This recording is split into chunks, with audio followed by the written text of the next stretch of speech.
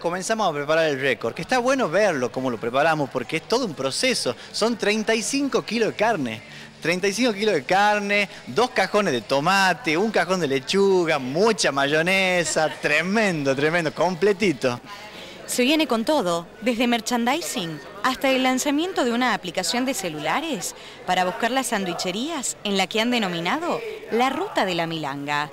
Diego el Mocho Viruel prepara la sexta edición de la Fiesta de la Milanga este viernes 18 en el Club Avellaneda Central.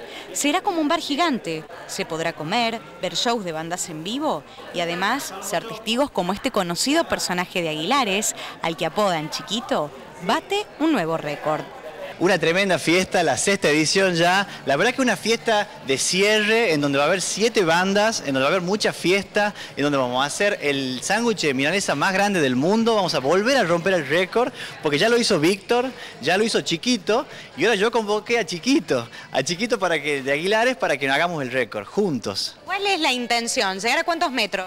4 metros por 60 centímetros. Salen más o menos 350 sanguchitos y la gente va a poder disfrutarlo gratis ahí en la fiesta de la Milanga. Y mientras esté haciendo eh, chiquito el sándwich, va a haber un concurso también del sanguchero más rápido de la provincia. El primer, el, primer concurso provincial del sanguchero más rápido. Va a haber con escribano, todo. Entonces vamos a hacer ahí, tienen que armar dos sándwiches a una velocidad récord.